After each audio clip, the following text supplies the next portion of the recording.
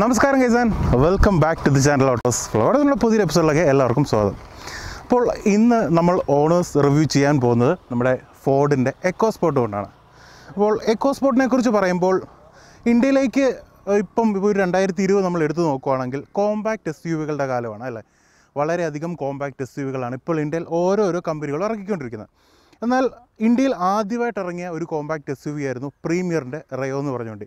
എന്നാൽ വളരെയധികം ദയനീയമായിട്ട് ആ ഒരു വണ്ടി പരാജയപ്പെടുകയുണ്ടായി. വളരെയധികം പരാജയപ്പെടുകയും ചെയ്തു. അതുമാത്രമല്ല ഇന്ത്യൻ നിരത്തുകളിൽ നിന്ന് അപ്രത്യക്ഷമായി പോവുകയാണ് ആ വണ്ടി ചെയ്തത്. എന്നാൽ അത് കഴിഞ്ഞ് ഫോർഡ് ഇന്ത്യയിലേക്ക് ഇറക്കിയ ഒരു വണ്ടി തന്നെയായിരുന്നു എക്കോസ്പോർട്ട് എക്കോസ്പോർട്ട് ആദ്യം ഇറങ്ങിയ സമയത്ത് വളരെയധികം പ്രയാസങ്ങൾ നേരിട്ടാണ് വണ്ടി ആൾക്കാർ അക്സെപ്റ്റ് ചെയ്യാൻ കുറേയധികം ബുദ്ധിമുട്ടുകൾ വന്നു. പക്ഷേ എന്നിരുന്നാലും ഫോർഡ് എക്കോസ്പോർട്ട് അതിന്റെ തനതായ രീതിയിലുള്ള ശൈലി നിലനിർത്തിക്കൊണ്ട് തന്നെ അതിന്റെ എല്ലാ കാര്യങ്ങളും മുന്നോട്ട് മുന്നോട്ട് അപ്ഡേറ്റ് ചെയ്ത് ഇന്ന് ഇന്ത്യയിലെ തന്നെ one of the most selling compact S U V ആയി മാറിയിരിക്കുകയാണ്.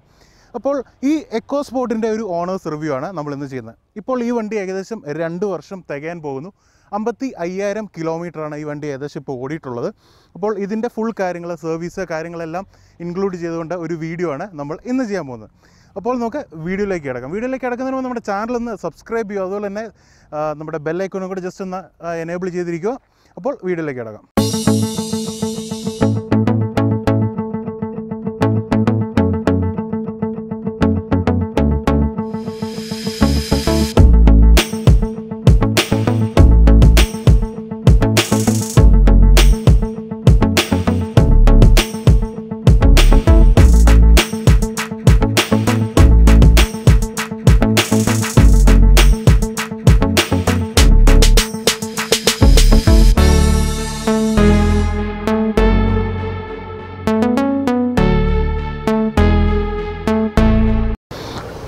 നമുക്ക് ഇന്ന് ഈ വണ്ടി തന്നിരിക്കുന്നത് നമ്മുടെ ബിജോ ചേട്ടനാണ്. ബിജോ ചേട്ടനെ Kottayam H D F C ബാങ്കിലെ മാനേജറാണ്. അപ്പോൾ നമുക്ക് ബിജോ ചേട്ടനെ ചാനലിലേക്ക് വിളിക്കാം. ബിജോ ചേട്ടാ ജസ്റ്റ് ഒന്ന്. നമ്മുടെ ഓട്ടോസുകളിലേക്ക് സ്വാഗതം. താങ്ക് യു അപ്പോൾ ബിജോ ചേട്ടാ ഇപ്പം നമ്മൾ ഇന്ന് എടുക്കാൻ പോകുന്നത് ഇതിന്റെ ഒരു ഓണേഴ്സ് റിവ്യൂ ആയിട്ടാണ്. അപ്പം കൂടുതലായിട്ട് നമ്മളോട് ആൾക്കാർ കുറേ പേര് ചോദിച്ചു.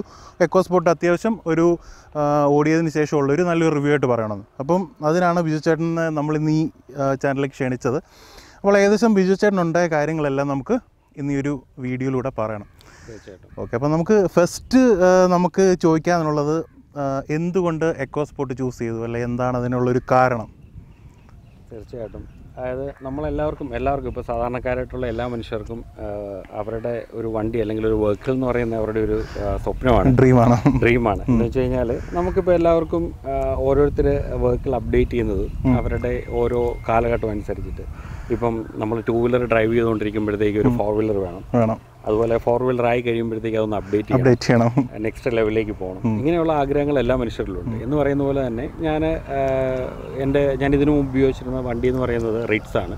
മാരുതിയുടെ റിറ്റ്സ് എന്ന് പറഞ്ഞ വെഹിക്കിളാണ് അപ്പം റെഡ്സ് ഏകദേശം ഒരു ഒന്നേകാൽ ലക്ഷം കിലോമീറ്റർ ആയപ്പോഴത്തേക്ക് അത് മാറണം എന്നൊരു ആഗ്രഹം അങ്ങനെ? ആഗ്രഹം വന്നു. അങ്ങനെ അപ്പോഴത്തേക്കാണ് ഞാൻ എക്കോസ്പോർട്ട് എന്ന് പറയുന്ന വെഹിക്കിളിലേക്ക് മാറുന്നത്. ഈ റെഡ്സ് എന്ന് പറയുന്നത് ഒരു ടോൾ ബോയ് മോഡൽ വെഹിക്കിളാണ് അപ്പം എനിക്ക് ഒരു അത്യാവശ്യം ഹൈറ്റ് ഉണ്ട്. ഒരു ആറടി ഹൈറ്റ് ഉള്ള ഒരാൾക്ക് സാധാരണ ഒരു ചെറിയ ഓൾട്ടോയിലോ അല്ലെങ്കിൽ സെന്നിലോ അങ്ങനെയുള്ള വെഹിക്കിൾസിൽ ചെയ്യുന്നതിനുള്ള ഒരു ഡിസ്കംഫർട്ട് വെച്ച് നോക്കുമ്പോഴത്തേക്ക് നമുക്കൊരു ടോൾ ബോയ് മോഡൽ വെഹിക്കിളാണ് എപ്പോഴും നമുക്ക് ചൂസ് ചെയ്യാൻ പറ്റുന്നത്. അപ്പോൾ അങ്ങനെ നോക്കിയപ്പോഴത്തേക്ക് ആ ഒരു സെഗ്മെന്റിൽ ഇപ്പോൾ നമുക്ക് എസ് യു വി അല്ലെങ്കിൽ ഇന്നോവ അല്ലെങ്കിൽ അങ്ങനെയുള്ള വെഹിക്കിളിലേക്ക് പോകാനായിട്ടുള്ള ഒരു ഓപ്ഷൻ ഇല്ല. പിന്നെ നെക്സ്റ്റ് എന്ന് പറയുന്നത് ഒരു കോമ്പാക്ട് എക്സ് യു വി ആണ്. എസ് യു വി എന്ന് പറയുന്ന അല്ലെങ്കിൽ കോമ്പാക്ട് എസ് യു വി എന്ന് പറയുമ്പോഴത്തേക്ക് കോമ്പാക്ട് എക്സ് യു വിയിൽ ഇന്ത്യൻ മാർക്കറ്റിൽ ഒന്ന് രണ്ട് മോഡൽസ് അവൈലബിൾ ആണ്.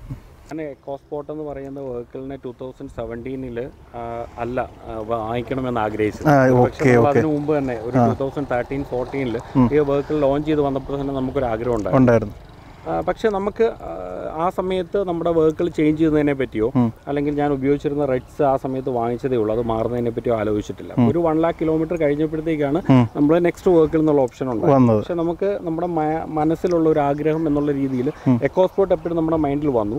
പിന്നെ നമ്മുടെ കമ്പാരിസൺ കംപ്ലീറ്റ് വരുന്ന എല്ലാ വെഹിക്കിൾസിനെ എക്കോസ്പോർട്ട് വെച്ചിട്ടാണ് നമ്മൾ കമ്പയർ കമ്പയർ ചെയ്യാൻ തുടങ്ങിയത്. അപ്പോൾ അങ്ങനെ കമ്പയർ ചെയ്തപ്പോഴത്തേക്ക് എനിക്ക് വന്നൊരു ഓപ്ഷൻ എന്ന് പറയുന്നത് ടാറ്റയുടെ നെക്സോൺ ആയിരുന്നു. ആ സമയത്ത് നെക്സോൺ അവൈലബിൾ ആയിരുന്നു മാർക്കറ്റിൽ അപ്പം ആ അവൈലബിൾ ആയിട്ടുള്ള ആ വെഹിക്കിളിന് അത് ലോഞ്ച് ചെയ്ത് വരുന്ന ടൈമായിരുന്നു പാസ്റ്റ് എക്സ്പീരിയൻസ് ഒന്നുമില്ല ആ വെഹിക്കിളിന് ഇപ്പം ഇതുപോലെ ഇപ്പം ഫിഫ്റ്റി തൗസൻഡ് ഓടി എക്കോസ്പോർട്ടിന്റെ റിവ്യൂ ആൾക്കാർ കാണുന്ന പോലെ അന്ന് നമുക്ക് ഫിഫ്റ്റി തൗസൻഡ് ഓടി ഒരു വെഹിക്കിളിന്റെ റിവ്യൂ കാണാനില്ല അപ്പം അങ്ങനെ വന്നപ്പോഴത്തേക്ക് നമ്മൾ പിന്നെ ചെയ്യുന്ന എന്താണ്? ഫീച്ചേഴ്സ് ബേസ് ഉള്ള കമ്പാരിസൺ ആണ്.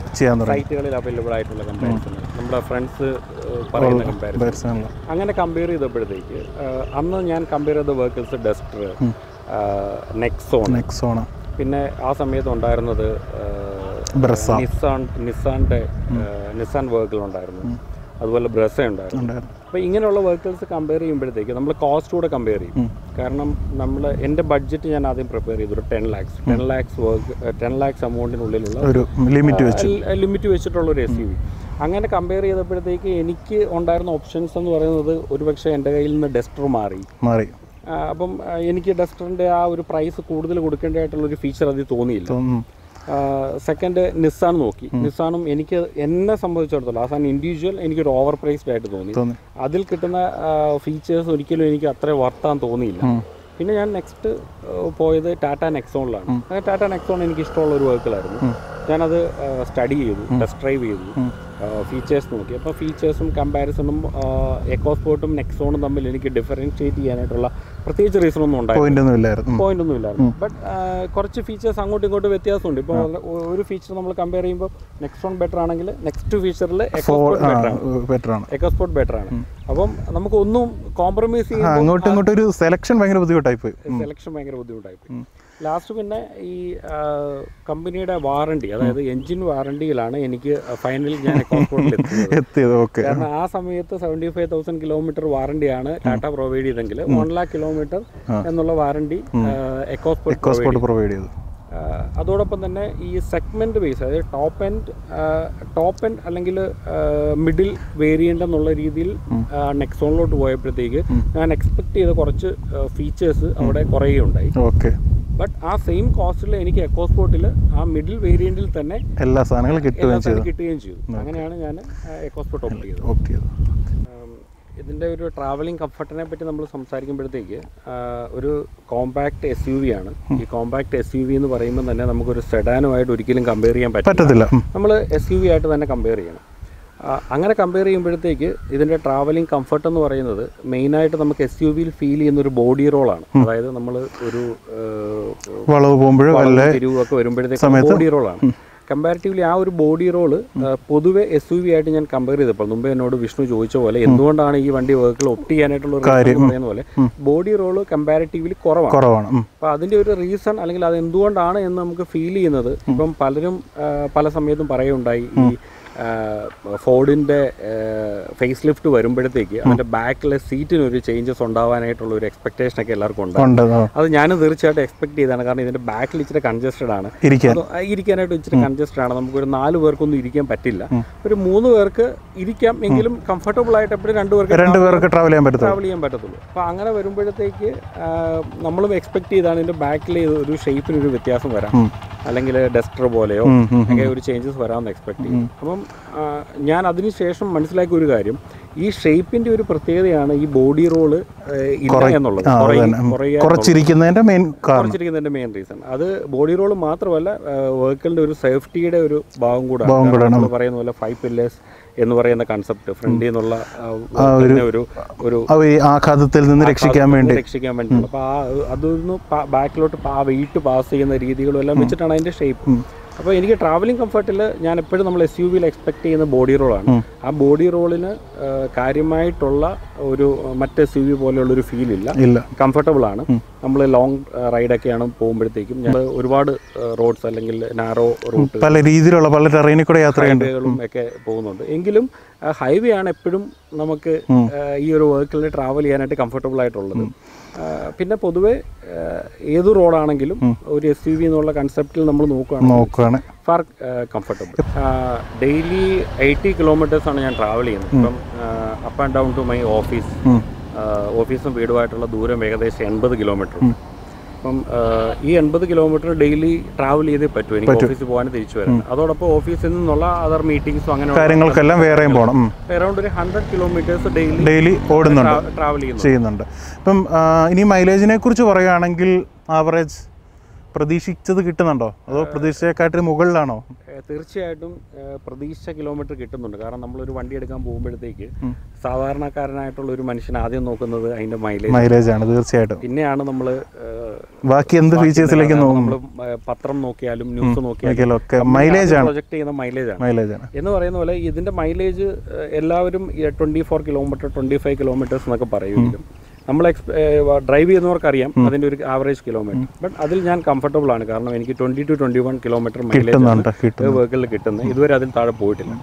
അപ്പോൾ ഈ ഒരു സെലക്ഷൻ മൈലേജ് ഉണ്ട് സേഫ്റ്റി ഓക്കെയാണ് കാര്യങ്ങളെല്ലാം തൃപ്തനാണ് പൂർണമായിട്ട്? തീർച്ചയായിട്ടും പൂർണമായിട്ടും തൃപ്തനാണ്. കാരണം എനിക്ക് ഇതിനു മുമ്പുള്ള വെഹിക്കിൾസ് പലതും നമ്മൾ ഒപ്റ്റ് ചെയ്യുമ്പോഴത്തേക്ക് നമുക്ക് എവിടെയോ ഒരു മിസ്സിംഗ് ഫീൽ തോന്നാം. നമുക്ക് മാറിയിരുന്നെങ്കിൽ അല്ലെങ്കിൽ ആ വെഹിക്കിൾ ആയിരുന്നെങ്കിൽ എന്നൊക്കെ. അപ്പോൾ എനിക്ക് ഇതുവരെ ഞാൻ ഏകദേശം ഒരു മൂന്ന് വെഹിക്കിൾ യൂസ് ചെയ്തിട്ടുണ്ട്. ഇതിന്റെ ഫോർത്ത് വെഹിക്കിളാണ് അപ്പോൾ ഇത് ഈ ഫോർത്ത് വെഹിക്കിൾ എനിക്ക് ഇതുവരെ അങ്ങനെ ഒരു ഇത് രണ്ട് വർഷം തോന്നിയിട്ടില്ല. തോന്നിയിട്ടില്ല. രണ്ട് വർഷമായി ഏകദേശം fifty five thousand kilometre cross ചെയ്തു എന്നിട്ട് ഇതുവരെ എനിക്ക് തോന്നിയിട്ടില്ല. വേറൊരു വണ്ടി മാറ്റണമെന്നോ എന്നും തോന്നിയിട്ടില്ല. തോന്നിയിട്ടില്ല. ഓക്കെ അപ്പോൾ ഏതായാലും ഇനിയും നമുക്ക് ബാക്കി കാര്യങ്ങൾ വണ്ടി ഓടിച്ചുകൊണ്ട് തന്നെ ഒന്ന് ഇപ്പം അപ്പോൾ നമുക്ക് ഏതായാലും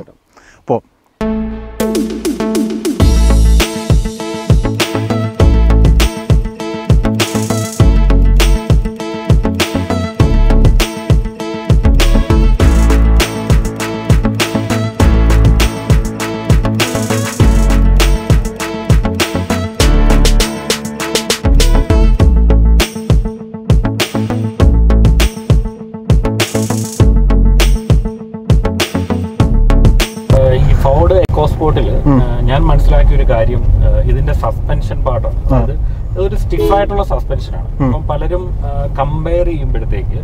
ഇപ്പം ഫോർ എക്സാമ്പിൾ നമ്മൾ നെക്സോൺ ഡ്രൈവ് ചെയ്യുമ്പോഴത്തേക്ക് നെക്സോണിന്റെ സസ്പെൻഷൻ എന്ന് പറഞ്ഞാൽ വളരെ സ്മൂത്ത് ആണ്. സ്മൂത്ത് ആണ്. അതുപോലെ ഡെസ്റ്ററിന്റെ സസ്പെൻഷൻ വളരെ സ്മൂത്ത് ആണ്. വളരെ സൂപ്പർ ആണ്. അതായത് ഡെസ്റ്ററിന്റെ സസ്പെൻഷൻ എന്ന് പറയുന്നത് നമുക്ക് ചിലപ്പോൾ ഒരുപക്ഷെ കമ്പയർ ചെയ്യാനായിട്ട് വേറെ വെഹിക്കിൾ ഉണ്ടാകാത്ത രീതിയിലുള്ള. അതുപോലെ സസ്പെൻഷൻ ആണ്. ബട്ട് നമുക്ക് ഈ എക്കോസ്പോർട്ടിന്റെ സസ്പെൻഷൻ എന്ന് പറയുമ്പോഴത്തേക്ക് അതൊരു സ്റ്റിഫ് ആയിട്ടുള്ള സസ്പെൻഷൻ ആണ്. ഇപ്പൊ നമ്മൾ ഈ സ്പോർട്സ് വെഹിക്കിൾസ് ഉണ്ടല്ലോ. എന്ന് വെച്ചാൽ ഇപ്പം ബി എം ഡബ്ല്യൂനെ നമ്മളൊരു സ്പോർട്സ്. കാറ്റഗറിയിലാണ് കാണുന്നത് ഒരു അപ്പോൾ നമ്മൾ ബി എം ഡബ്ല്യൂ ബെൻസുമായിട്ട് കമ്പയർ ചെയ്യുമ്പോൾ പോലും അതിന്റെ സസ്പെൻഷന് ഡിഫറൻസ് ഉണ്ട്. അതായത് ബെൻസിന്റെ സസ്പെൻഷൻ കുറച്ച് കംഫർട്ടബിൾ ആണ്. ബി എം ഡബ്ല്യുവിന്റെ സസ്പെൻഷന് കുറച്ച് സ്റ്റിഫാണ് ആണ്. സ്റ്റിഫാണ് അപ്പൊ അത് ഈ സ്പോർട്സ് കാറ്റഗറി വെഹിക്കിളിനുള്ള ഒരു പ്രത്യേകതയാണ്. അതുപോലെ തന്നെ അത് ഞാൻ കമ്പയർ ചെയ്ത ഒരു പ്രീമിയം സെഗ്മെന്റുമായിട്ട് കമ്പയർ ചെയ്തതല്ല. ഞാൻ പറഞ്ഞു വന്നത്. എക്കോസ്പോർട്ടിന്റെ സസ്പെൻഷൻ സ്റ്റിഫ് ആണെങ്കിൽ സസ്പെൻഷൻ റിലേറ്റഡ് ആയിട്ടുള്ള ഒരു ഇഷ്യൂ ഒരു കംപ്ലൈൻസ് ഈ വെഹിക്കിൾസിന് ഞാൻ പല one lakh one point five lakhs two lakhs kilometre ഓടി ആൾക്കാരോട് ചോദിക്കുമ്പോഴും ഉം. സസ്പെൻഷൻ ഫാട്ടിൽ അവരൊരു യാതൊരുവിധ കംപ്ലൈൻസും വന്നിട്ടില്ല. വന്നിട്ടില്ല. അപ്പൊ എനിക്ക് ഇതൊരു സ്റ്റിഫ് സസ്പെൻഷൻ ആണെങ്കിലും ആ. ഒരു സ്റ്റിഫ്നെസ് നമുക്ക് ഫീൽ ചെയ്യുന്നില്ല. എന്തുകൊണ്ടാണെന്ന് അറിയാം ഡെയിലി ഡ്രൈവ് ചെയ്ത ഒരാളാണ് ഞാൻ. എനിക്ക് പക്ഷെ ആ ഒരു സ്റ്റിഫ്നെസ് ഇതുവരെ ഫീൽ ചെയ്തിട്ടില്ല. ആ. ഒരു പോയിന്റ് ഓഫ് വ്യൂവിൽ അല്ലെങ്കിൽ ആ ഒരു സസ്പെൻഷൻ പാർട്ടിൽ എനിക്ക് തോന്നുന്നത് കംപ്ലൈൻസ് കുറവാണ് എന്നുള്ളതാണ് ഏറ്റവും വലിയ ഒരു എക്കോസ്പോർട്ടിന്റെ ഒരു അഡ്വാന്റേജ് ആയിട്ട് ഞാൻ കാണുന്നത് ചേട്ടാ ഇത്തരം കാര്യങ്ങൾ നമ്മൾ പറഞ്ഞു വണ്ടിയെക്കുറിച്ചുള്ളതും എടുക്കാനുണ്ടായ സാഹചര്യങ്ങളൊക്കെ. അപ്പോൾ ഇനിയും ചോദിക്കാൻ പോകുന്ന കാര്യം എന്നു പറഞ്ഞു കഴിഞ്ഞാൽ ഈ വണ്ടിയുടെ സർവീസ് സർവീസ് കോസ്റ്റ് അതുപോലെ തന്നെ ഇത്ര നാൾ ഇപ്പോൾ ഏകദേശം അമ്പത്തി അയ്യായിരം കിലോമീറ്റർ അമ്പത്തി ആറായിരം കിലോമീറ്റർ ഓട ഓടി. രണ്ട് വർഷം അൻപത്തി അയ്യായിരത്തി ഇരുന്നൂറ്റി ഇരുപത്തിനാല് കിലോമീറ്റർ. കിലോമീറ്റർ ആയി. അപ്പോൾ രണ്ട് വർഷം ഇപ്പം തികയാൻ പോകുന്നു.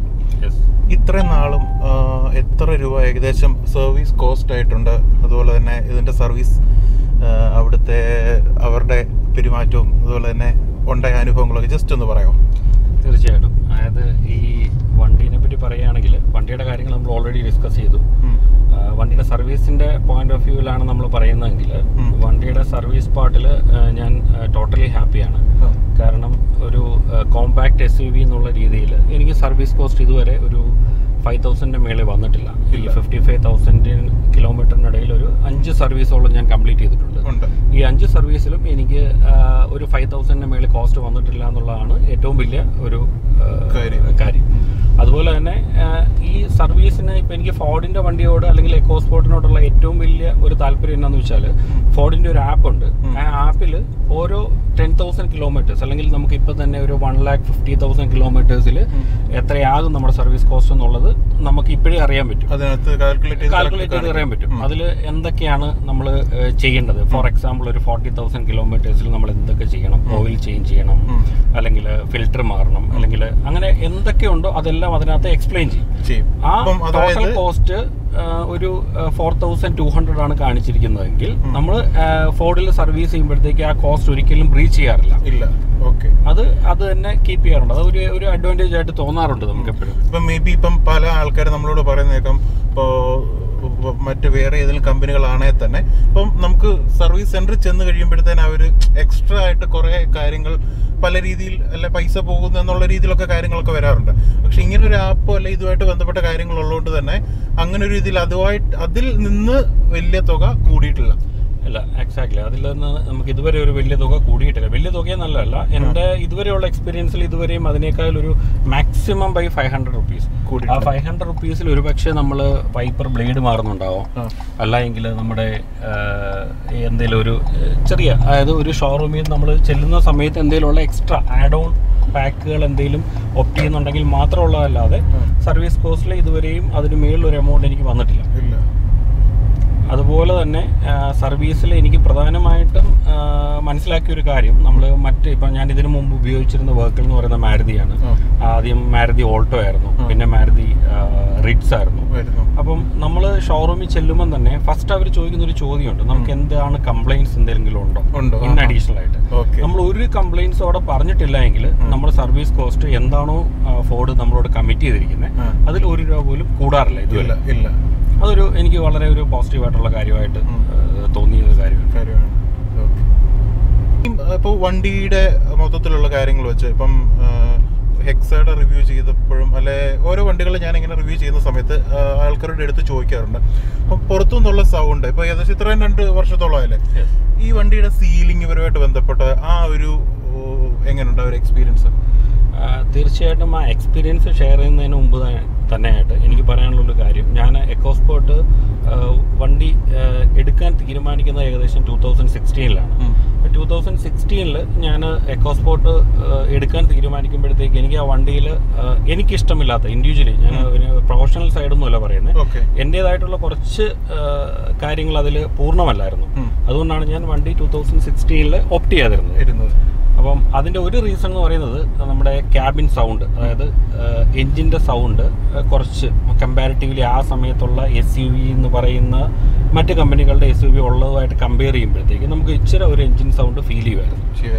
അപ്പോൾ അതുകൊണ്ടാണ് ഞാൻ ആ സമയത്ത് ആ, സമയം തന്നെ എനിക്കൊന്ന് ടൂ തൗസൻഡ് സിക്സ്റ്റീൻ ഓൺവേർഡ്സ് ഇതിന്റെ ഒരു ഫേസ് ലിഫ്റ്റ് വരുമെന്നുള്ള ഒരു ന്യൂസ് പൊതുവെ സോഷ്യൽ മീഡിയാസിലും അല്ലെങ്കിൽ യൂട്യൂബ് ചാനൽസിലും ഒക്കെ ഇതിന്റെ ഫേസ് ലിഫ്റ്റ് വരുന്നു എന്നുള്ള ഒരു ന്യൂസ് ഉണ്ടായിരുന്നു അതുകൊണ്ട് തന്നെ ഫേസ് ലിഫ്റ്റ് വരുമ്പോൾ നമ്മൾ എക്സ്പെക്ട് ചെയ്യുന്ന രീതിയിലുള്ള ഒരു കറക്ഷൻസ് പ്രതീക്ഷിച്ചിരുന്നു. അതുകൊണ്ട് തന്നെയാണ് നമ്മൾ തീർച്ചയായിട്ടും ആ ഒരു ഫേസ് ലിഫ്റ്റ് വരുമ്പോൾ എടുക്കാമെന്ന് പറഞ്ഞു. എടുക്കാവുന്നത് അങ്ങനെ വന്നപ്പോഴത്തേക്ക് എനിക്ക് ഒരു വളരെ അട്രാക്റ്റീവായിട്ട് തോന്നിയൊരു കാര്യം ഈ ക്യാബിൻ സൗണ്ട് ഇപ്പം നമ്മൾ വിഷ്ണുവിനാണെങ്കിലും വണ്ടിയിൽ ഇരിക്കുമ്പോൾ മനസ്സിലാവും. നമുക്ക് വെളിയിലെ ആ ഒരു അല്ലെങ്കിൽ എഞ്ചിന്റെ ഒരു സൗണ്ട് എന്ന് പറയുന്നത്. നോയ്സ് വളരെ കുറവാണ്. വളരെ കുറവാണെന്ന് പറഞ്ഞു കഴിഞ്ഞാൽ നമ്മുടെ ഒരു പെട്രോൾ എഞ്ചിനുമായിട്ട് അത്ര ഒരു വലിയ ഡിഫറൻസ് ഫീൽ ഫീൽ ചെയ്യുന്നു ഫീൽ ചെയ്യുന്നുണ്ട്. അപ്പോൾ അത് ഒരു പ്രധാനപ്പെട്ട ഒരു കാര്യം തന്നെയാണ് നമുക്കത് ഫീൽ ചെയ്യുന്നില്ല എന്നുള്ളത്. ഉള്ളത്. ഓക്കെ ഈ അമ്പത്തി അയ്യായിരം കിലോമീറ്റർ ഓടിയതിലൊക്കെ ഇപ്പം നമുക്ക് ഫസ്റ്റ് ഇതിൽ ടയർ എത്ര കിട്ടി? ഫസ്റ്റ് ഇത് ടയർ എന്നുള്ളതല്ല ഇതുവരെ ഞാൻ ടയർ മാറിയിട്ടില്ല. മാറിയിട്ടില്ല. വണ്ടി എടുത്തതിന് ശേഷം ഇതുവരെ ഞാൻ ടയർ മാറിയിട്ടില്ല. മാറിയിട്ടില്ല. ഇപ്പൊ ആ വന്ന സ്റ്റോക്ക് ടയർ തന്നെയാണ് ഇപ്പോഴും സ്റ്റോക്ക് ടയർ തന്നെയാണ് കണ്ടിന്യൂ ചെയ്യുന്നത്. കണ്ടിന്യൂ ചെയ്യുന്നത്. പിന്നെ ഈ ടയറിന്റെ പാർട്ടിൽ ഞാൻ കുറച്ച് കീപ്പ് ചെയ്യുന്ന ഒരു കാര്യമുണ്ട് every five thousand kilometre five thousand to ten thousand kilometre consistent ആയിട്ട്? കൺസിസ്റ്റന്റ് ആയിട്ട് ഞാൻ ടയർ റൊട്ടേറ്റ് ചെയ്യും. പിന്നെ നമ്മൾ എപ്പോഴും ഞാൻ ഇടയ്ക്ക് ഒരു വൺ മന്ത് കൂടുമ്പോഴത്തേക്ക് നൈട്രജൻ എയർ ആണ് യൂസ് ചെയ്യുന്നത്. എങ്കിലും വൺ മന്ത് കൂടുമ്പോഴത്തേക്ക് ടോപ്പ് അപ്പ് ചെയ്യാനായിട്ടും ടയറിന്റെ കാര്യങ്ങൾ ഇപ്പം നമ്മൾ ഏത് ലോക്കൽ ഒരു വർക്ക്ഷോപ്പിൽ പോയാലും അല്ലെങ്കിൽ ലോക്കൽ വർക്ക്ഷോപ്പ് അല്ല മീൻസ് ടയർ റിലേറ്റഡ് ആയിട്ടുള്ള ഏതെങ്കിലും ഒരു ഷോപ്പിൽ പോയാലും. നമ്മൾ ടയറിനെ പറ്റി അവരോട് ചോദിക്കാറുണ്ട്. പലരും പല ഒപ്പീനിയൻസ് ആണ് പറയാറുള്ളത്. എങ്കിലും നമ്മൾ കീപ്പ് ചെയ്യേണ്ട ഒരു കാര്യം എയർ എന്ന് പറയുന്നത് നമ്മൾ കപ്പാസിറ്റി അനുസരിച്ചിട്ട് നമ്മൾ ഓടുന്ന റൂട്ടിന്റെ പ്രത്യേകത അനുസരിച്ചിട്ട് അല്ലെങ്കിൽ ഒരു ഇൻഡിവിജ്വൽ ആണോ ഡ്രൈവ് ചെയ്യുന്നത് അല്ലെങ്കിൽ ഫുൾ കപ്പാസിറ്റിയിലാണോ വർക്കിൽ പോകുന്നത്. ഇതൊക്കെയാണ് എയറുമായിട്ട് എയർ നമ്മൾ അതിനകത്ത് ഫില്ല് ചെയ്യുമ്പോൾ ശ്രദ്ധിക്കേണ്ട കാര്യം ആണ്. അപ്പം ഞാൻ എപ്പോഴും ഒരു ടു പോയിന്റ്സ് റെഡ്യൂസ് ചെയ്ത് വണ്ടിയിൽ കീപ്പ് ചെയ്യാറുള്ളൂ. കാരണം എന്റെ ഒരു പ്രൊഫഷൻ അനുസരിച്ചിട്ട് ഞാൻ ത്രീ സിക്സ്റ്റി ഫൈവ് ഡേയ്സിൽ അല്ലെ ത്രീ സിക്സ്റ്റി ഫോർ ഡേയ്സിൽ നമ്മൾ ഒരു ത്രീ ഹൺഡ്രഡ് അല്ലെങ്കിൽ ഒരു ടു ഹൺഡ്രഡ് ആൻഡ് ഫിഫ്റ്റി ഡേയ്സും തന്നെ സഞ്ചരിക്കുന്ന ആളാണ്. കാരണം നമ്മുടെ ജോലിയുടെ ഭാഗമായിട്ട്. രാവിലെ ഓഫീസിൽ പോകുന്നു വൈകിട്ട് തിരിച്ചു വരും. അപ്പം തീർച്ചയായിട്ടും നമുക്ക് തന്നെ അല്ലെങ്കിൽ ഞാൻ മാത്രമായിട്ട് ഡ്രൈവ് ചെയ്യുന്ന സിറ്റുവേഷനിൽ എനിക്ക് എപ്പോഴും ഒരു ഫുൾ കപ്പാസിറ്റിയിലുള്ള എയർ എന്റെ ആവശ്യം വരുന്നില്ല. അതുകൊണ്ട് തന്നെ. ഞാനെപ്പോഴും ഒരു ടു പോയിന്റ്സ് റെഡ്യൂസ് ചെയ്തിട്ടാണ് വണ്ടിയിൽ എയർ ഫിൽ ചെയ്യാറ്. ഫില്ല് ചെയ്യുന്നത്. ഓക്കെ ഇപ്പം ഞാൻ മുമ്പേ സർവീസിന്റെ കാര്യം ചോദിച്ചപ്പോഴത്തേന് ഞാൻ ഒരു കാര്യം ചോദിക്കാൻ വിട്ടുപോയത്. ഏതെങ്കിലും സമയത്ത് ഇപ്പം ഒരു ഒരു നെഗറ്റീവ് ആയിട്ടുള്ള ഒരു ഇമ്പാക്റ്റ് എപ്പോഴേലും അവിടെ നിന്ന് ഉണ്ടായിട്ടുണ്ടോ? ഈ സർവീസ് സെന്ററിൽ നിന്നോ അല്ലേ? എനിക്ക് ശരിക്കും പറഞ്ഞു കഴിഞ്ഞാൽ ഫോർഡിന്റെ സർവീസ് അല്ലെങ്കിൽ നമ്മളിപ്പം സർവീസ് ചെയ്യുന്ന സർവീസ് സെന്റേഴ്സ് അല്ലെങ്കിൽ എന്താ പറയുക നമ്മളിപ്പോൾ സർവീസ് ചെയ്യുമ്പോൾ നമ്മളെ അവിടെ അഡ്മിറ്റ് ചെയ്യുന്നിടം മുതൽ നമ്മുടെ വണ്ടിയുടെ സർവീസിന്റെ ഓരോ കംപ്ലയിൻസ് റെക്ടിഫൈ ചെയ്യുന്നത് വരെയുള്ള കാര്യങ്ങളെ പറ്റിയാണ് നമ്മൾ സംസാരിക്കുന്നതെങ്കിലും ഞാൻ നമ്മുടെ സർവീസ് കോസ്റ്റിനെ പറ്റിയാണ് സംസാരിച്ചത്. അല്ലെങ്കിൽ നമ്മളെ ഇപ്പോൾ ഒരു ഷോറൂമിൽ വരുമ്പോഴത്തേക്ക് നമ്മളൊരു ജസ്റ്റ് ഒരു കംപ്ലൈന്റ് പറയുമ്പോഴത്തേക്ക് അതവർ അക്നോളജ് ചെയ്യുന്ന ഒരു രീതിയുണ്ട്. അതായത് നമ്മൾ പറയുന്ന കംപ്ലൈന്റ് ഒരു കോമൺ ഒരു ഒരു കോമൺ കംപ്ലൈന്റ് ആണ്. അത് ഞങ്ങൾ നോക്കിക്കോളാം എന്ന് പറയുന്നതല്ലാതെ. നമ്മളൊരു പറയുന്ന കംപ്ലൈൻസിനെ പറ്റി നമുക്ക് എക്സ്പ്ലെയിൻ ചെയ്ത് തരുമോ അല്ലെങ്കിൽ അത് എന്താണ്? ഇപ്പം നമ്മളെ സംബന്ധിച്ചിടത്തോളം നമ്മളാരും ഈ ഒരു നോർമൽ ഒരു സാധാരണക്കാരനായിട്ടുള്ള ഒരു വണ്ടി വാങ്ങിച്ചേക്കുന്ന വ്യക്തിയാണ്. നമ്മൾ പ്രൊഫഷണൽ അല്ല. നമുക്ക് ടെക്നോളജി പരമായിട്ട് അല്ലെങ്കിൽ ടെക്നിക്കൽ പരമായിട്ടുള്ള കാര്യങ്ങൾ വണ്ടിയെ പറ്റി അറിയില്ല. അപ്പം ചില കംപ്ലൈന്റ്സ് നമ്മൾ ഡൗട്ട്സ് ആയിരിക്കാം. മേ ബി ചിലപ്പോൾ നമ്മൾ വണ്ടി ഓടിക്കുമ്പോഴത്തേക്ക്. അല്ലെങ്കിൽ ഞാനിപ്പോൾ ഈ പറയുന്ന പോലെ വണ്ടിയെ പറ്റി കുറച്ചൊക്കെ അറിയാമെങ്കിലും. ആദ്യമായിട്ട് ഞാൻ പറഞ്ഞ കംപ്ലൈന്റ് കേട്ട് കഴിഞ്ഞാൽ പലർക്കും ചിരി വരും. കാരണം നമ്മൾ വണ്ടി ഓടിക്കുമ്പോഴത്തേക്ക് ഞാൻ കട്ടറുള്ള റോഡുകളിൽ കൂടെ ബ്രേക്ക് ചവിട്ടുമ്പോഴത്തേക്ക് ഭയങ്കരമായിട്ട് എനിക്ക് ഒരു. ഒച്ചയും ഇതൊക്കെ കേൾക്കുന്നത്. ബ്രേക്കിന്റെ എന്തോ കംപ്ലൈന്റ് ആണെന്ന് പറഞ്ഞിട്ടാണ് ഞാൻ ആദ്യം ഷോറൂമിൽ പറയുന്നത്. ബട്ട് ആ ഫസ്റ്റ് സർവീസിൽ എന്നെ എന്റെ എന്റെ ആ കംപ്ലൈന്റ് അക്നോളജ് ചെയ്ത വ്യക്തി എനിക്ക് എക്സ്പ്ലെയിൻ ചെയ്ത് തരികയുണ്ടായി. അത് നമ്മുടെ ഈ ഫോർഡിന്റെ അല്ലെങ്കിൽ മറ്റ് വണ്ടിയായിട്ട് കമ്പയർ ചെയ്യുമ്പോഴത്തേക്ക് ഫോർഡിന്റെ അഡീഷണൽ അഡീഷണൽ അല്ല. ഓൾമോസ്റ്റ് മിക്ക വണ്ടികളിലും ഉണ്ട്. എ ബി എസ് സിസ്റ്റം ഉണ്ട്. പക്ഷേ ആ A B S system work ചെയ്യുന്നത് പ്രോപ്പറായിട്ട് വർക്ക് ചെയ്യുന്ന ഒരു വർക്കിലാണ് ഈ ഒരു കോമ്പാക്ട് എസ് യു വി എന്ന് പറയുന്നത്. അപ്പൊ അതിൽ നമുക്ക് കുറച്ചുകൂടെ ഫീൽ ചെയ്യും. ഇപ്പൊ സെഡാനേക്കാൾ കമ്പയർ compare കുറച്ചുകൂടെ ഫീൽ ചെയ്യും. അപ്പൊ ആ ഫീൽ ചെയ്യുന്നതാണ്. അപ്പം എന്റെ ഒരു വളരെ ഒരു എന്താ പറയുക വളരെ ചൈൽഡിഷ് ഡൗട്ട് ആയിരുന്നു വളരെ ഇതായിട്ടുള്ള ഒരു ഡൗട്ട് ആയിരുന്നു. പക്ഷെ അത് വളരെ എനിക്ക് എക്സ്പ്ലെയിൻ ചെയ്തു തന്നു. അതിനുശേഷം എനിക്ക് ആ ഒരു സർവീസ് അഡ്വൈസർ എന്നെ പറഞ്ഞു തന്ന രീതികളും. അതിനുശേഷം ഇന്നേ വരെ എനിക്ക് ഫോർഡിൽ അങ്ങനെ ഒരു സർവീസ് അഡ്വൈസറുടെ ഒരു നമ്മൾ പറയുന്ന കംപ്ലയിൻസിന് പ്രോപ്പർ ആയിട്ടുള്ള ഒരു ഇത് സൊല്യൂഷൻ കിട്ടിയിട്ടില്ല. ഇല്ല. പിന്നെ ചില മൈന്യൂട്ട് കംപ്ലയിൻസുകൾ നമ്മൾ ചോദിക്കുമ്പോഴത്തേക്ക് അവർക്ക് അത് റെക്ടിഫൈ ചെയ്യാൻ പറ്റിയിട്ടില്ല. ഫിഫ്റ്റി തൗസൻഡിന്റെ ഈ ഒരു മേജർ സർവീസിന് എത്ര രൂപയായിരുന്നു കോസ്റ്റ് ഫിഫ്റ്റി തൗസൻഡിന്റെ കിലോമീറ്റേഴ്സിൽ മാത്രം ഞാൻ മുമ്പേ പറഞ്ഞതുപോലെ ഒരു ഫൈവ് തൗസൻഡ് എന്നുള്ള എമൗണ്ട് ഒന്ന് ഒന്ന് ഒന്ന് ക്രോസ് ചെയ്ത് ക്രോസ് ചെയ്തത് മീൻസ് അതിനകത്ത് ഈ പറയുന്ന വൈപ്പർ ബ്ലേഡ് കൂടെ റീപ്ലേസ് ചെയ്തുകൊണ്ട് മാത്രമായിരിക്കും ഫൈവ് തൗസൻഡ് ക്രോസ് ചെയ്തത് ആ. Total amount five thousand six hundred and forty rupees ആണ് അതിൽ വൈപ്പർ ബ്ലേഡും അതുപോലെ തന്നെ നമ്മുടെ ഫ്രണ്ടിലെ ഗ്ലാസിന്റെ ഇത് വാഷ് ചെയ്യാനായിട്ട് നമ്മൾ ആ ലിക്വിഡ്. ഫില്ല് ചെയ്യുന്ന കോസ്റ്റോടെ. കൂടിയിട്ടാണ് five thousand six hundred and forty ആയത് ആ. ആ, അതിന് മുമ്പ് വരെ എനിക്ക് ഫൈവ് തൗസൻഡ് ക്രോസ് ചെയ്തിട്ടില്ല ഇല്ല അപ്പം ഈ ആ മേജർ സർവീസിന് എന്തെങ്കിലും വേറെ അല്ലാതെ എക്സ്ട്രാ എന്തെങ്കിലും മാറുമോ അല്ലെ അങ്ങനത്തെ എന്തെങ്കിലും ചെയ്തായിരുന്നോ? ഇല്ല ഞാൻ ആ ആപ്പിൽ നോക്കിയിട്ടാണ് ഞാൻ എല്ലാ സർവീസിനും പോകുന്നതിന് മുമ്പ് തന്നെ ആ. ആ ആപ്പിൽ കയറിയിട്ട് എന്തൊക്കെ റിക്വയർമെന്റ് ഉണ്ട് എന്നുള്ളത് നോക്കും. നോക്കും. അതോടൊപ്പം തന്നെ ആ സർവീസ് അഡ്വൈസർ എടുത്ത് ഞാൻ ഈ ആപ്പിൽ പറഞ്ഞിരിക്കുന്ന കാര്യങ്ങളല്ലാതെ ഇൻ അഡീഷണൽ ആയിട്ട് എന്തെങ്കിലും ഒരു റിക്വയർമെന്റ് ഉണ്ടോ എന്ന് ചോദിക്കാറുണ്ട്. ചോദിക്കാറുണ്ട്. ഓക്കെ ആ. ബട്ട് ഇതുവരെ അങ്ങനെ ഒരു ഇത് അതിന്റെ ആവശ്യമില്ല. ആ സർവീസ് പറഞ്ഞേക്കുന്ന കാര്യങ്ങൾ മാത്രമേ ഉള്ളൂ. പിന്നെ ഇന്ന് അഡീഷണൽ ആയിട്ട് ഒരു ആഡ് ഓൺ പാക്കേജ് പോലെ അവർ കുറച്ച് ഓപ്ഷൻസ് പറയാറുണ്ട്. പക്ഷെ അതെനിക്ക് എന്റെ ഈ പറയുന്ന പോലെ ഡെയിലി ഡ്രൈവ് ചെയ്ത് പോകുന്ന എനിക്ക് അതിനൊരു റിക്വയർമെന്റ് ഇല്ലാത്തത് കൊണ്ട് തന്നെ ഞാനത് ഒപ്റ്റ് ചെയ്യാറില്ല ഇല്ല. ഓക്കെ ഓക്കെ ഓട്ടോമാറ്റിക് ഓടിച്ച് നോക്കിയപ്പോൾ എങ്ങനെ ഉണ്ടായിരുന്നു ഇതിന്റെ ഓട്ടോമാറ്റിക് ഓടിച്ചു നോക്കിയപ്പോഴത്തേക്ക് കമ്പാരിറ്റീവ്ലി ഫാർ ബെറ്റർ വർക്കുകളാണ് ആ. ഓട്ടോമാറ്റിക് കാരണം ആ, ഞാൻ കണ്ടേക്കുന്നത് ഓൾമോസ്റ്റ് എനിക്കറിയാവുന്ന പല ആൾക്കാരും പ്രീമിയം കാർസ് ഉപയോഗിക്കുന്ന അല്ലെങ്കിൽ പ്രീമിയം വെഹിക്കിൾ ഉപയോഗിക്കുന്ന പല ആൾക്കാരും ഉണ്ട്. ചെയ്യുന്ന സെക്കൻഡ് വെഹിക്കിളാണ് ഫോർഡിന്റെ ഫോർഡ് എക്കോസ്പോർട്ട് ഓട്ടോമാറ്റിക് ഓക്കെ അപ്പോൾ അതിന്റെ ഒരു കംഫർട്ട് എന്നാന്ന് വെച്ച് കഴിഞ്ഞാൽ ഇപ്പോൾ ഒരു എസ് യു വി അല്ലെങ്കിൽ ബി എം ഡബ്ല്യു ആണെങ്കിലും ബെൻസ് ആണെങ്കിലും ഓഡി ആണെങ്കിലും അതിന്റെ എസ് യു വിസ് യൂസ് ചെയ്യുന്ന ആൾക്കാർക്ക് ഒരു സെക്കൻഡ് വെഹിക്കിളായിട്ട് യൂസ് ചെയ്യാൻ പറ്റുന്ന ഒരു കോമ്പാക്ട് എസ് യു വി ആണ് ഇത്. അതിന്റെ ടെക്നോളജിയിൽ ഇപ്പോൾ ഓട്ടോ മാനുവൽ ട്രാൻസ്മിഷൻ ആണെങ്കിൽ പോലും. അത് ഫീൽ ചെയ്യാത്ത ഒരു അല്ലെങ്കിൽ ആ ഒരു ഫീൽ നമുക്ക് കിട്ടാത്ത ഒരു വെഹിക്കിളാണിത് കാരണം ഒരു ത്രീ സിലിണ്ടർ എഞ്ചിനാണ് ആണ്. അതിന്റെ ഗിയർ ബോക്സ് എടുത്ത് പറഞ്ഞൊരു കാര്യം തന്നെ തന്നെ തീർച്ചയായിട്ടും. കാരണം ഈ പറയുന്ന പോലെ ത്രീ സിലിണ്ടർ എഞ്ചിനിൽ നമുക്ക് ആ ഒരു കംഫർട്ട് കിട്ടുന്ന ഒരു വെഹിക്കിൾ കമ്പയർ ചെയ്യാനായിട്ട് അല്ലെങ്കിൽ ഒരു കോമ്പറ്റീറ്റേഴ്സിന് പോലും ഇതുവരെ മാർക്കറ്റിൽ ഇറക്കാൻ പറ്റിയിട്ടില്ല എന്നുള്ളതാണ് എന്റെ ഒരു വിശ്വാസം. അതനുസരിച്ചിട്ട് നോക്കിക്കഴിഞ്ഞാൽ ഓട്ടോമാറ്റിക് തന്നെയാണ് ഓപ്റ്റ് ചെയ്യാൻ പറ്റുന്ന ഒരു വെഹിക്കിൾ ബട്ട് നമ്മളെ സംബന്ധിച്ചിടത്തോളം ഡെയിലി ജോലിക്ക് പോയി വരികയും അതുപോലെ തന്നെ നമുക്ക് വളരെ എക്കോണമിക്കലായിട്ട് അല്ലെങ്കിൽ നമുക്ക് മൈലേജ് വേണം. അങ്ങനെയുള്ള കുറച്ച് കാര്യങ്ങൾ വെച്ചിട്ടാണ് നമ്മൾ.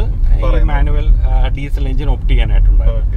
ഒരു പക്ഷേ ഡീസൽ എഞ്ചിനിൽ ഓട്ടോമാറ്റിക് അവൈലബിൾ ആയിരുന്നെങ്കിൽ ഒരു പക്ഷേ ഞാൻ ഓട്ടോമാറ്റിക് മാത്രമേ ഓപ്റ്റ് ചെയ്യുള്ളായിരുന്നു അപ്പം ഫോർഡ് അല്ലാതെ ഒരു സെക്കൻഡ് ഓപ്ഷൻ പറയുവാണെങ്കിൽ ഏതായിരിക്കും ചൂസ് ചെയ്യുന്നത് ഫോർഡ് അല്ലാതെ ഈ ഒരു സെഗ്മെന്റിൽ അല്ലെങ്കിൽ ഈ ഒരു പ്രൈസ് കൂടെ നമ്മൾ നോക്കുമല്ലോ എപ്പോഴും നമ്മൾ കമ്പയർ ചെയ്യുമ്പോഴത്തേക്ക് നമുക്ക് ആഗ്രഹം ഉണ്ടായിരിക്കും. നമുക്ക് ആഗ്രഹം ഉണ്ടായിരിക്കാം പല വണ്ടികളും വാങ്ങിക്കാനായിട്ട് അതിന്റെ പെർഫോമൻസ് ബേസ് ഒക്കെ. എങ്കിലും ഞാൻ കമ്പയർ ചെയ്യുമ്പോഴത്തേക്ക് ടാറ്റ നെക്സോൺ ആണ്. ഞാൻ ചെയ്യുന്ന ഒരു വണ്ടി. കാരണം എന്റെ ഫസ്റ്റ് ചോയ്സിൽ ഉണ്ടായിരുന്ന ഒരു വെഹിക്കിളായിരുന്നു ടാറ്റ നെക്സോൺ നെക്സോ അപ്പോൾ നെക്സോൺ ലോഞ്ച് ചെയ്ത് വരുന്ന ഒരു ടൈമായിരുന്നു അപ്പോൾ അതിന് കുറച്ച് കമ്പാരിസണിൽ എനിക്ക് അന്ന് ബെറ്റർ ആയിട്ട് തോന്നി എക്കോസ്പോർട്ട് ആയതുകൊണ്ടാണ് ഞാൻ എക്കോസ്പോർട്ട് ഓപ്റ്റ് ചെയ്തത്. നെക്സോൺ ഇഷ്ടമായിരുന്നു. നെക്സോൺ ഇഷ്ടമായിരുന്നു വണ്ടി. ഒരു നെക്സ്റ്റ് ഒരു മൂവ് ഇപ്പം നടത്താൻ ആഗ്രഹിക്കുന്നെങ്കിൽ ഇതൊന്ന് അപ്ഡേറ്റ് ചെയ്യണമെന്ന് കരുതുകയാണെങ്കിൽ ഏത് വണ്ടിയിലേക്കായിരിക്കും കൂടുതലായിട്ടും കോൺസെൻട്രേറ്റ് ചെയ്യുന്നത് അല്ല ഏതെങ്കിലും ഒരു വണ്ടി അങ്ങനെ മനസ്സിൽ കണ്ടുവച്ചിട്ടുണ്ടോ നമ്മൾ ഒരു വണ്ടി എടുക്കുമ്പോഴത്തേക്ക് ഇപ്പം ഞാൻ ആദ്യം എടുത്ത വണ്ടി ഓൾട്ടോയാണ്. ഓൾട്ടോ എടുത്തപ്പോഴത്തേക്ക് നമ്മളൊരു ഫൈവ് ഇയർ കഴിഞ്ഞ് ചേഞ്ച് ചെയ്യാമെന്ന് പറഞ്ഞിട്ടാണ് ആ വണ്ടി എടുക്കുന്നത്. ബട്ട് നമ്മളൊരു ത്രീ ഇയർ കഴിഞ്ഞപ്പോഴത്തേക്ക് അത് ചേഞ്ച് ചെയ്തു. അതിനുശേഷം റിഡ്സ് എടുത്തു റിഡ്സ് എടുത്തപ്പോഴത്തേക്കും ഒരു സെവൻ ഇയർ യൂസ് ചെയ്യണമെന്നുള്ള ഒരു പ്ലാനിലാണ് ആ വണ്ടി എടുത്തത്. എങ്കിലും അതൊരു four to five year complete ആയപ്പോഴത്തേക്ക് one point two. Five lakhs kilometre ആയപ്പോഴത്തേക്ക് അത് ചേഞ്ച് ചെയ്തു. അപ്പം ഇങ്ങനെ ഒരു വർക്കിൽ നമ്മൾ ചേഞ്ച് ചെയ്യുമ്പോഴത്തേക്ക് നമ്മുടെ മൈൻഡിൽ ഒരുപാട് ആഗ്രഹങ്ങളുണ്ട് ഇപ്പം. ഫോർഡിനെ സംബന്ധിച്ചിടത്തോളം എനിക്ക് ഫോർഡിന്റെ വണ്ടി ഒരുപാട് ഇഷ്ടമാണ് അപ്പം അങ്ങനെ നോക്കുമ്പോഴത്തേക്ക് ഫോർഡ് എൻഡവർ എന്നുള്ളൊരു വണ്ടിയാണ് നമ്മുടെ മൈൻഡിലേക്ക് വരുന്നത്. പക്ഷെ ഇതിന്റെ ഒരു നെക്സ്റ്റ് അപ്ഡേഷൻ അല്ല അതെന്നുള്ളത് കൊണ്ട്. നമുക്ക് വീണ്ടും ബാക്കിലോട്ട് വരാം. അങ്ങനെ നോക്കുവാണെങ്കിൽ ഫോർഡ് ഒരു പക്ഷേ ഇതിനിടയ്ക്ക് ഒരു മിഡ് വേരിയന്റ് അല്ലെങ്കിൽ ഇപ്പൊ ഈ ഫോർഡിനും എൻഡ എക്കോസ്പോർട്ടിനും എൻഡവറിന്റെ ഇടയിൽ വേറൊരു വെഹിക്കിൾ എടുക്കുവാണെങ്കിൽ അവർ ലോഞ്ച് ചെയ്യുവാണെങ്കിൽ നമുക്ക് നോക്കാം എങ്ങനെ ഉണ്ടെന്ന്. ഇല്ല എങ്കിൽ ഇപ്പം എന്റെ മൈൻഡിലുള്ളത്. കിയ സെൽട്ടോസ് എന്ന് പറഞ്ഞ മോഡൽ മോഡലാണ് കാരണം മോഡലല്ല ആ ഒരു വെഹിക്കിളാണ് ഉം. അതിന്റെ ഒരു പ്രത്യേകത ഞാൻ മനസ്സിലാക്കിയെടുത്തോളം. ഇത്രയും ഫീച്ചേഴ്സ് ഉള്ള ഒരു വെഹിക്കിൾ നമ്മുടെ ഇന്ത്യയിൽ ലോഞ്ച് ചെയ്തിട്ടില്ല ആ ഒരു സെഗ്മെന്റിൽ അല്ലെങ്കിൽ ആ ഒരു പ്രൈസ് റേഞ്ചിൽ ആ ഒരു പ്രൈസ് ടാഗ് എടുത്ത് നോക്കുവാണെങ്കിൽ കുറവാണ്. കുറവാണ് തീർച്ചയായിട്ടും ഇപ്പൊ നമ്മൾ നോക്കിക്കഴിഞ്ഞാൽ നമ്മൾ ഈ സെൽട്ടോസ് വരുന്നതിന് മുമ്പ് ജീപ്പായിരുന്നു ഭയങ്കര മനസ്സിലുള്ള ഒരു വണ്ടി. എന്ന് പറയുന്നത് പക്ഷെ ഇപ്പം സെൽട്ടോസ് വന്നു കഴിഞ്ഞപ്പോഴത്തേക്ക്. സെൽട്ടോസ് എന്ന് പറയുന്നതിന്റെ ഫീച്ചേഴ്സും അതുപോലെ തന്നെ അതിന്റെ കംഫർട്ടും അതിന്റെ സ്റ്റൈലിഷ് ലുക്കും എല്ലാം. എല്ലാം കൊണ്ടും അതൊരു വളരെ കംഫർട്ടബിൾ ആയിട്ടുള്ള വെഹിക്കിളാണ്. എന്റെ മൈൻഡിലും അത് തന്നെയാണ്. ബട്ട് ഈ പറഞ്ഞ പോലെ നമ്മളൊരു fifty thousand one lakh kilometre റിവ്യൂവിന് വേണ്ടി വെയിറ്റ് ചെയ്യുന്നു എന്നുള്ളതാണ് അതിന്റെ ഒരു വാസ്തവം. തീർച്ചയായിട്ടും ഞാനത് ചെയ്യാൻ നോക്കുന്നുണ്ട്. പക്ഷെ വണ്ടി ഒന്ന് ഓടണ്ടേ? ആൾക്കാരെ ഇരിക്കുന്നത് അത് പറഞ്ഞ വലിയ കാര്യം. ഇപ്പം നവംബറിലെ സെയിൽസ് എടുത്ത് നോക്കുകയാണെങ്കിൽ പതിനേഴായിരത്തി എണ്ണൂറ് യൂണിറ്റ് ആണ് വണ്ടി സെയിലായിരിക്കുന്നത് അപ്പോൾ അത്രയും റെക്കോർഡ് സൃഷ്ടിച്ചുകൊണ്ടാണ് കിയ സെയിലിന്റെ കാര്യത്തിൽ മുന്നോട്ട്. അത് വണ്ടി ആൾ ആളുകൾ അക്സെപ്റ്റ് ചെയ്തതിന്റെ ഒരു വലിയൊരു കാര്യം തന്നെയാണത്.